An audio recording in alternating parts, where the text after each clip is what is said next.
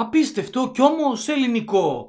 Αναπάντητα ερωτήματα και πολλές απορίες δημιουργεί ένα ομολογουμένος περίεργο περιστατικό κλοπής στο Μητροπολιτικό Πάρκο Παύλου Μελά στη Σταυρούπολη Θεσσαλονίκης όταν άγνωστοι επιχείρησαν να κλέψουν, αποκολλώντας από τη βάση του, το μπρούτζινο άγαλμα του εθνομάρτυρα Νίκου Καπετανίδη. Ε, μου είπε ότι το άγαλμα το βρήκε δεμένο, τυλιγμένο δηλαδή ένα μεγάλο σκηνή με κόμπο στη μέση του σώματος, το οποίο η άκρη του σκηνού έφτανε μέχρι το πάτωμα στο χώμα, αλλά ήταν φαίνονταν το τακωμένο και προφανώς μου λέει έγινε προσπάθεια να το τραβήξω. Πήγα αμέσως στο.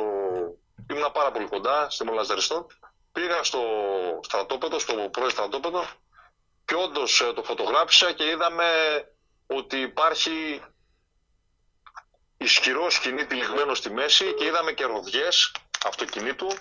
Στο σημείο δηλαδή ήταν εφθαρμένο και εξημένο το, το χώμα στα δύο μέτρα από την βάση, που σημαίνει ότι υπήρξε αυτοκίνητο το οποίο οι δράστες αυτοί έχοντας βάλει το σκηνή γύρω από τη μέση του σώματος το τράβηξαν, προσπάθησαν να το ρημουλκίσουν δηλαδή για να το αποκολλήσουν από τη βάση. Αυτό έσπασε το σκηνή, ξεκάθαρο αυτό, το ήρθε και η αστυνομία το είδε, το διαβεβαίωσε. Είδαμε και τις ροδιέ, είδαμε όλα τα στοιχεία εκεί. Το άγαλμα βάρους περίπου μισού τόνου είναι έργο του γλύπτη Γιώργου Κικότη και είχε τοποθετηθεί στο Μητροπολιτικό Πάρκο Παύλου Μελά το Σεπτέμβριο του 2021. Περίοικοι αντιλήφθηκαν ότι κάποιοι προσπάθησαν να κλέψουν το άγαλμα και ειδοποίησαν άμεσα τον πρόεδρο του Σωματείου Δράσης Νίκος Καπετανίδης, Γιώργο Γεωργιάδη, ο οποίος έσπευσε επί τόπου και βρήκε το άγαλμα δεμένο με σκηνή και εντόπισε δίπλα στη βάση του ίχνη απορρόδε οχήματος με το οποίο επιχείρησαν να το σύρουν οι κλέφτες. Στη συνέχεια ειδοποίησε την αστυνομία και υπέβαλε μήνυση κατά γνώστων. Ευτυχώς, όταν ε, το βάζαμε το μνημείο με τον γλύπτη τον Γιώργο τον Κικότη, μου είχε πει ότι έβαλε δύο μεγάλα σίδερα ε, μέσα στο σώμα του αγάλματος του Μπρούτζου, τα οποία είναι χωνευμένα μέσα στο μάρμαρο και ότι για να το αποκολλήσουν πρέπει κάποιος να το ανατινάξει. Ναι. Ε, δεν ξέρω αν το επόμενο βήμα είναι να δούμε και αυτό. Δεν ξέρω. Μετά τα σκηνιά μπορώ να βάλω και η μάντα. Μήπως δούμε και καμιά χεροβουβίδα. Απίστευτο. Για να...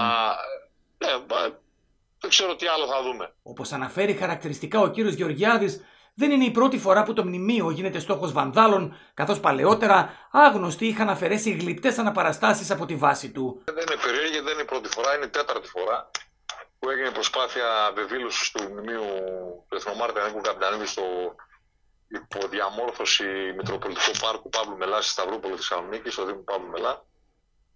Οι, μας έχουν κλέψει ήδη από τα αποκαλυπτήρια του μνημείου που έγιναν τις 21 Σεπτεμβρίου του 2021 τις γλυπτές αναπαραστάσεις δύο φορές που βρίσκονται στη βάση του μνημείου είναι αναπαραστάσεις που αναπαριστούν ε, στιγμές από το μαρτύριο του Εθνομάρτυρα ε, το, το σύμβολο δηλαδή του κοντιακού ελληνισμού, τον αετό της Συνόπης, ε, μας τα έχουν κλέψει αυτά δύο φορές. Παράλληλα σημειώνει ότι η κατάσταση στο Μητροπολιτικό Πάρκο Παύλου Μελά δεν είναι ανεκτή και υπάρχει πρόβλημα ασφάλειας του χώρου καθώς έχουν γίνει επανειλημμένα καταγγελίες για κλοπές και φθορές πολύτιμων υλικών, καλωδίων και άλλων που αφορούν στην ηλεκτροδότηση και στον φωτισμό του χώρου.